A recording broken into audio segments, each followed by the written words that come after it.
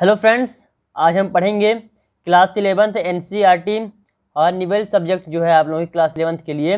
तो जो chapter six है द ब्राउनिंग वर्जन आप लोगों को दिख रहा होगा। तो जो आप लोगों का लेसन सिक्स है चैप्टर सिक्स है Browning version the Browning version तो आज की इस वीडियो में आप लोगों को इसी लेसन का कम्प्लीटली सोल्यूशन मिलने वाला है ओके सबसे पहले हम लोग बात करेंगे इस लेसन के समरी के बारे में और वो दोस्तों समरी रहेगी हिंदी में। मैं आप लोगों को इस पार्ट की समरी जो दिखाऊँगा, वो हिंदी में दिखाऊँगा, साथ ही साथ इस पार्ट के कम्प्लीटली सोल्यूशन क्वेश्चन आंसर और एग्ज़ाम के लिए इम्पोर्टेंट क्वेश्चन सब कुछ बताऊँगा इस वीडियो में। तो आप लोग वीडियो को कम्प्लीटली वॉच करना, कहीं पर भी इसकी मत करना। तो फ्रेंड्स चलिए बिना देर के हुए वीडियो को स्टार्ट करते हैं। तो आप लोग देख सकते हैं चैप्टर सिक्स है द ब्राउनिंग वर्जन जिसके राइटर हैं टेरेंस रेटिगन, ओके? अब दोस्तों, जो ये आप लोगों का लेसन है, ये एक ड्रामा है, ओके? यदि हम हिंदी में बात करें तो विधा जो इसकी है, वो है ड्रामा मतलब नाटक। तो याद याद रखना फ्रेंड्स पाठ का नाम द ब्राउनिंग वर्जन, राइटर का नाम टेरेंस रेडिगन और विधा जो है, वो है, ये कौन सा है? ड्रामा, विधा है। तो चलिए फ्रेंड्स, सबसे पहले हम लोग देखते हैं इस पाठ के समरी के बारे में। आप लोग समरी को अच्छी तरह से ध्यान से पढ़ लेना ताकि आप लोगों को यह पार्ट समझ में आ जाए। तो चलिए देखते हैं। तो फ्रेंड्स चैप्टर सिक्स है। द ब्राउनिंग वर्जन राइटर है इनके Terence Rattigan okay? Terence Rattigan याद रखना। फ्रेंड्स आप लोग इस लेसन को एक बार अच्छी तरह से पढ़ लेना जो इंग्लिश में दिया है। ए, एक एक लाइन को अच्छी तरह से समझ कर पढ़ लेना ताकि यदि इस पार्ट से एक एक्सट्रैक्ट फ्रॉम प्रोज आता है, आप लोग पेपर में, आप लोग पता होगा। तो यदि इस लेसन से एक्सट्रैक्ट फ्रॉम प्रोज आता है तो आप लोग, आप लोगों से बन जाए। इसीलिए आप लोग हर पैराग्राफ को इस लेसन के अच्छी तरह से ध्यान से पढ़ लेना। बाकी मैंने आप लोग बता ही दिया कि चैप्टर का नाम बनना चाहिए और राइटर का नाम बनना चाहिए। इस लेसन का दोनों चीज़ें आप लोगों से बननी चाहिए, क्योंकि पेपर में कभी कभी पूछ भी लेता है। तो चलिए देखते हैं। तो यहाँ आप लोग देख सकते हैं समरी इंग्लिश में दी गई है पहले। तो इस लेसन के हाईलाइटेड पॉइंट दिए गए हैं। आप लोग इनको अच्छी तरह से देख लीजिए पहले। इसके बाद मैं आप लोगों को दिखाता हूँ समरी इन हिंदी में। तो अच्छी तरह से इसको देख लीजिए। यदि आप लोगों को यह वीडियो क्लियर नहीं दिख रहा, साफ़ नहीं दिख रहा है तो आप लोग एक काम कर सकते हैं। आप लोग इस वीडियो क्वालिटी को सबसे हाई कर लीजिए। 720p में सिलेक्ट कर लीजिए और साथ ही साथ फ्रंट से अपने मोबाइल की ब्राइटनेस को भी थोड़ा इंक्रीज कर लीजिएगा। इतना आप लोग काम कर लेंगे तो यह वीडियो आप लोग एकदम क्लियर साफ़ साफ़ दिखेगा। तो इतना काम आप लोग ज़रूर कर लेना।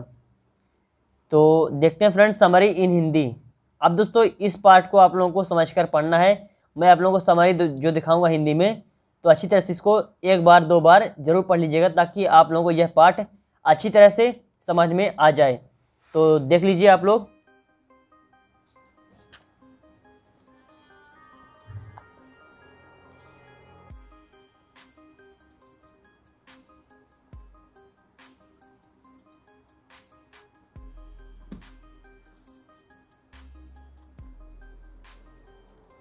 तो फ्रेंड्स समरी हो गई। अब है वर्ड मीनिंग तो इस पार्ट में दोस्तों, जितने भी डिफ़िकल्ट वर्ड हैं तो उनकी मीनिंग आप लोग देख सकते हैं।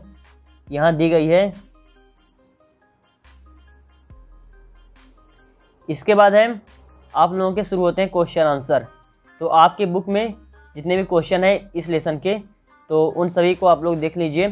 एग्ज़ाम के लिए दोस्तों, ये क्वेश्चन बहुत ही महत्वपूर्ण होते हैं। तो आप लोग सभी क्वेश्चन को अच्छी तरह से नोट कर लीजिएगा।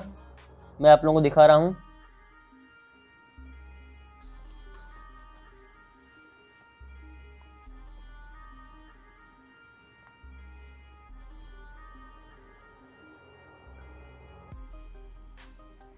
अब दोस्तों आप लोग देख भी सकते हैं कि जो क्वेश्चन इंपॉर्टेंट है तो उसके सामने दोस्तों इंपॉर्टेंट का टैग भी लगा है।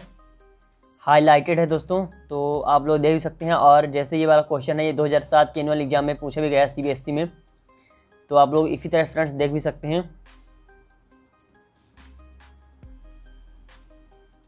सही क्वेश्चन को आप लोग अच्छी तरह से देख लीजिए।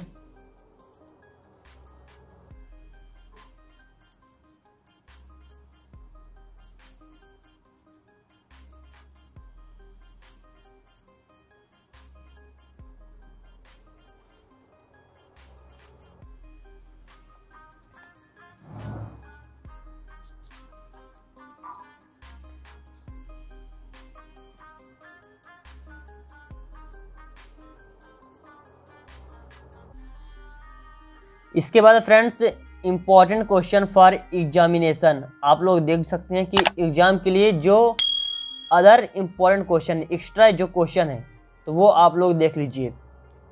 और आप लोग देख भी सकते हैं दोस्तों कि ये जो ये जो क्वेश्चन है, ये बहुत सी बार एग्ज़ाम में पूछे भी गए हैं तो इसका आप लोग प्रमाण देख भी सकते हैं कि यहाँ लिखा भी गया है, ओके? तो ये दोस्तों क्वेश्चन हैं, ये और भी महत्वपूर्ण है तो इनको भी आप लोग ज़रूर नोट कर लीजिएगा। तो सबसे पहले दोस्तों, देख लीजिए शॉर्ट आंसर टाइप क्वेश्चन जो कि आते हैं तीस से चालीस वर्ड्स में लिखने के लिए। तो इनको आप लोग देख लीजिए।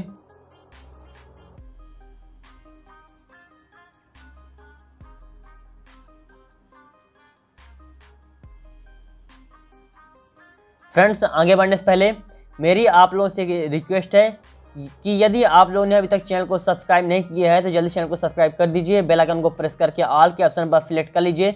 ताकि जब भी मैं कोई न्यू वीडियो अपलोड करूँगा तो उसकी नोटिफिकेशन आप लोग को मिल जाए और इस वीडियो को आप लोग लाइक भी ज़रूर कर देना।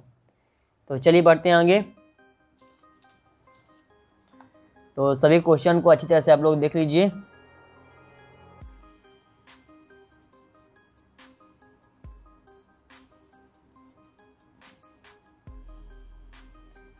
इसके बाद friends long answer type question जो कि आते हैं 100 से 120 वर्ड में लिखने के लिए 100 टू 120 वर्ड्स ईच तो इस टाइप के दोस्तों क्वेश्चन आप लोग देख सकते हैं।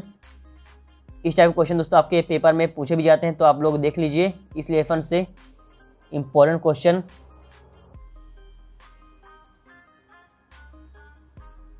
तो आप लोग देखते जाइए।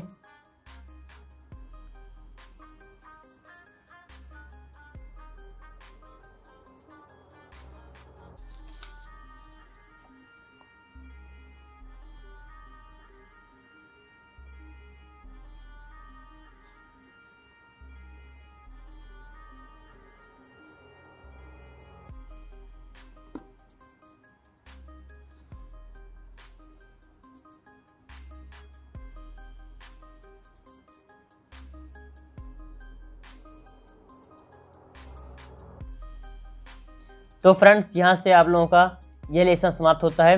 उम्मीद करता हूँ आप लोगों को यह लेसन समझ में आ चुका होगा और आप लोगों ने इस पार्ट के इम्पोर्टेंट क्वेश्चन फुल सोल्यूशन देख लिया होगा। फ्रेंड्स, यदि आप लोगों ने इसकी पिछली वाली वीडियो नहीं देखा है मतलब चैप्टर एक, दो, तीन, चार, पाँच तक के सोल्यूशन भी मैंने वीडियो अपलोड कर दिया है। यदि आप लोगों ने उसको नहीं देखा है तो लिंक डिस्क्रिप्शन में है वीडियो का लिंक डिस्क्रिप्शन में है, जाकर उनको भी देख लीजिएगा। जिस पार्ट का सोल्यूशन आप लोगों को देखना है तो ज़रूर देख लेना फ्रेंड्स बाकी इस इस वीडियो में इतना ही। मिलता हूँ आप सबसे अगली वीडियो में। तब तक के लिए जय हिंद, वंदे मातरम। अपना ध्यान रखिएगा।